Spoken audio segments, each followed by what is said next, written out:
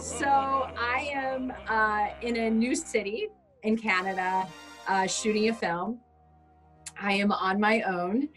And I had been going through about a two week quarantine, as you do, coming into Canada to, prior to starting your production.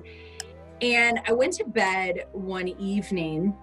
I guess it's about 2 a.m.